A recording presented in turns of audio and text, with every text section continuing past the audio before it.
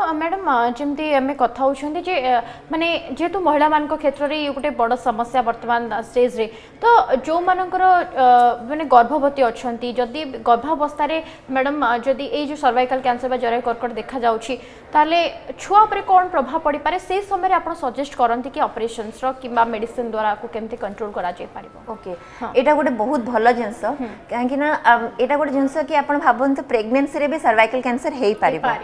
सेटा बहुत इम्पोर्टेंट जिन जानवाटा सिमटम्स कौन हुए प्रेगनेंसी आम कमी कौन भाविबा गोटे हूँ एक्सेस वैजिनाल डिस्चार्ज बहुत प्रेगनेंसी एमती ही बहुत वाइट डिस्चार्ज पा पड़ जाए किंतु जदि से जिनसटा स्मेल करा कि से जिन जो आप पेट बथा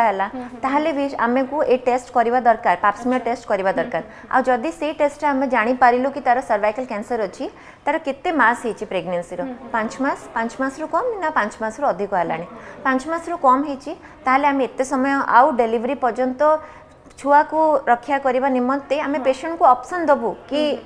बेटर कि आम व्वेट करवानी आम ट्रिटमेंट स्टार्ट करदे कि जदि से कहबे कि ना आमको ଛୁଆଟା ବି ଦରକାର ତାକୁ କିଛି ସାଇଡ୍ ଇଫେକ୍ଟ ନ ହେଇକି ତାର ବି ଅଛି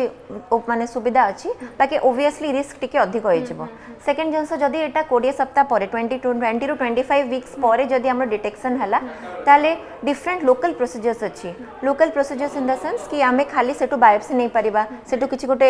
ଅଳ୍ପ ଅଳ୍ପ ଯେଉଁ ପାଖରେ କ୍ୟାନ୍ସର ଆମେ ସସ୍ପେକ୍ଟ କରୁଛୁ ସେଇ ଟିସୁଟା କାଢ଼ିପାରିବା କିନ୍ତୁ ଆମେ ଆଜ୍ ସଚ୍ ଗର୍ଭାଶୟ ଆଉ ବାକି ଛୁଆକୁ ଇଫେକ୍ଟ ନ ପଡ଼ିଲା ପରେ ଆମେ କରିପାରିବା and immediately at thirty four weeks যেতবেলকু ছুয়া ডেলিভারি সময় পাখাপাখি হয়েযিব সেতবেলকু ছুয়া ডেলিভারি করসারা পরে মাকে তাপরে মেডিসিন দিয়া হব তো ডিপেন্ড করছে কেউ স্টেজে ডায়াগনোসিস হল